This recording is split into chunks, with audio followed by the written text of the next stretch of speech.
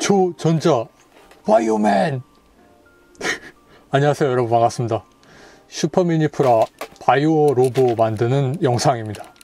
기록용으로 촬영해 놓았던 영상에 지금 녹음을 하고 있습니다. 내용물 중에 부분 도색되어 있는 파츠가 있는데요. 얼굴이죠? 코가 까졌습니다. 어이. 이러면 도색 다시 해야 되지 않습니까? 머리 측면 은색이라든지 색상이 3개 들어있는데 꼼꼼하게 도색 잘 되어 있죠. 스티커도 많이 들어있습니다. 전부 사용하지는 않고 도색할 수 있는 건 해보려고 만들었습니다.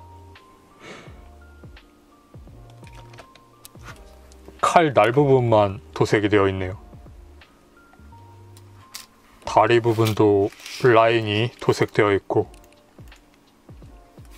그 밖에도 부분 도색되어 있는 바치가 있고 물론 스티커도 많이 들어있고 바이오제트 1호에 들어있는 거하고 바이오제트 2에 들어있는 거.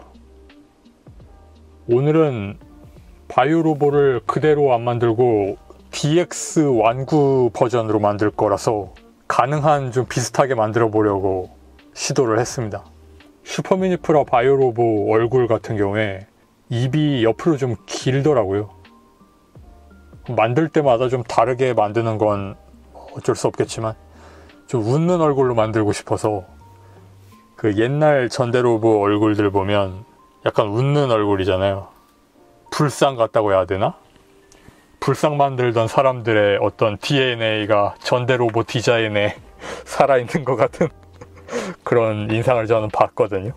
그래서 제 입장에서의 전대로보 얼굴은 막 전투용 불상인데 음, 그래서 좀 더 자비로운 얼굴로 만들려고 입꼬리를 사포로 수정하는 영상입니다.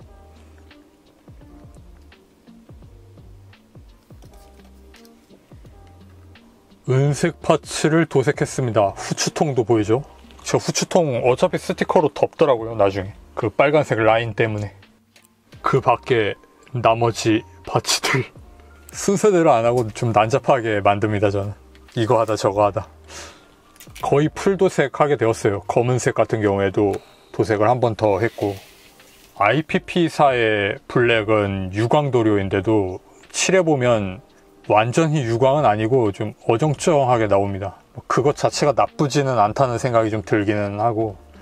쓰기에 따라서는 너무 반사가 세지 않은 표면을 만들 수 있어서 좋다는 생각도 좀 들지만 지금 가운데 스티커 붙인다고 도색을 안 했죠.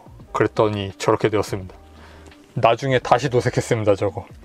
스티커가 전부를 안 덮고 줄만 있더라고요. 노란색 줄만. 빨간색 같은 경우에는 조색해서 red하고 그 yellow를 그래서 만든 색깔입니다.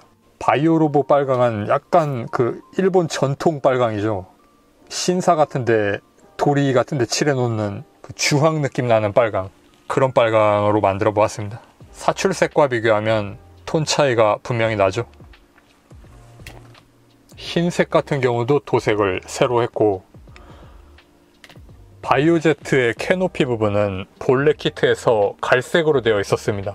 그런데 DX 완구는 파랑 맞지 않습니까? 그래서 건담 마커 지우개 펜으로 지우면 지워지거든요. clear parts 위에 갈색 도색해 놓은 거라서 그거 지우고 clear blue로 도색 새로 했습니다.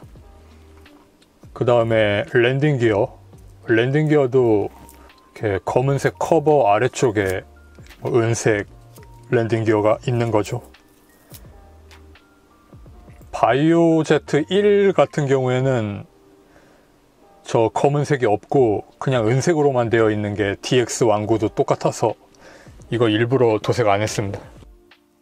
parting line 제거가 덜 된 모습이 좀 보이네요. 수정하지 않습니다. 이런 경우에 올리 원 크래쉬입니다. 동체 라인은 새로 칠하기가 어려울 것 같기 때문에 이렇게 마스킹을 해서 보호를 해 주었습니다.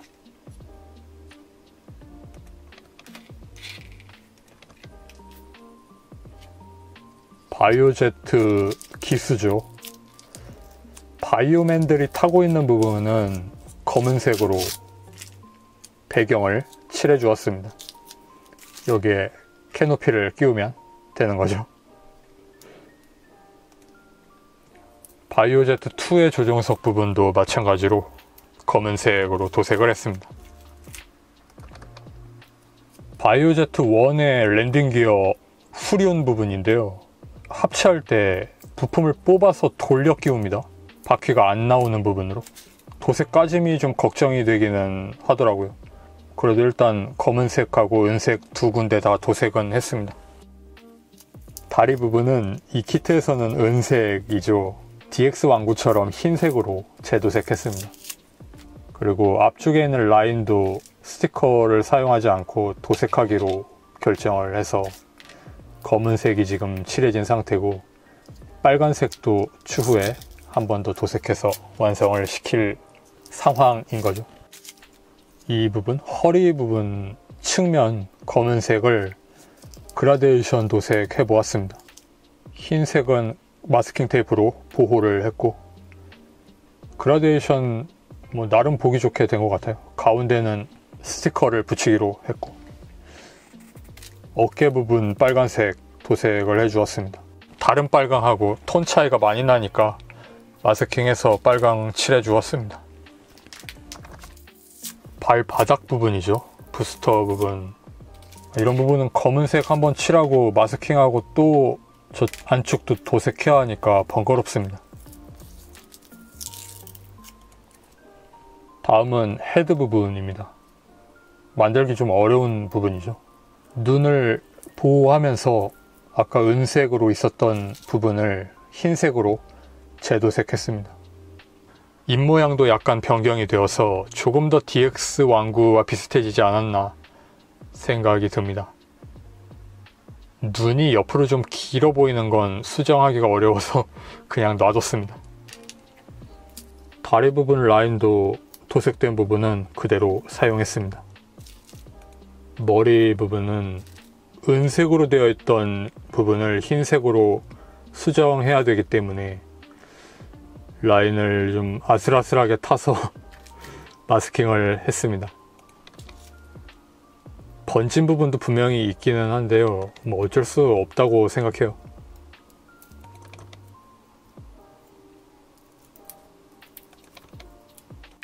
조립을 하면 이렇게 되는 거죠. 아직 빨간 라인하고 검은 라인이 덜 들어가 있어서 좀 plain한 형상의 바이오 로봇 얼굴이 되었습니다.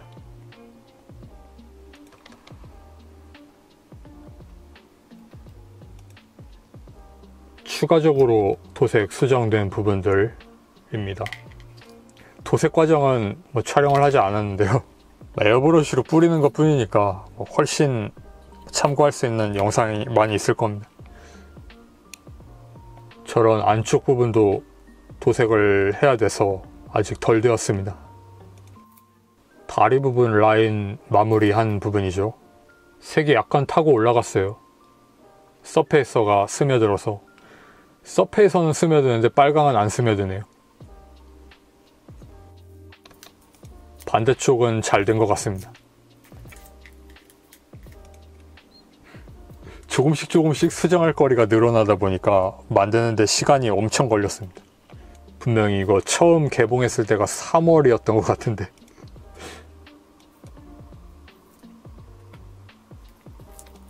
눈 아래쪽 라인을 에어브러쉬로 도색했습니다.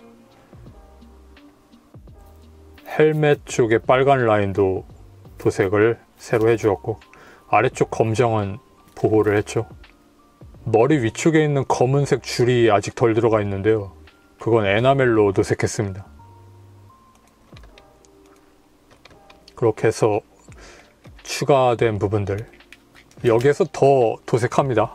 그리고 파일럿 도색한 완성 상태 아직 마감은 안 올린 상태죠. 그러니까 검은색을 무광으로 마감한 다음에 무광으로 마감하는 이유는 도료가 잘 붙으라고 그래서 그 위에 아크릴 물감으로 부분 도색을 새로 해주고 그 다음에 이 위에 무광 마감을 한 번 더 올려서 보호를 하게 됩니다. 추가적인 도색하고 조립하고 그 위에 또 유광 마감을 하거든요.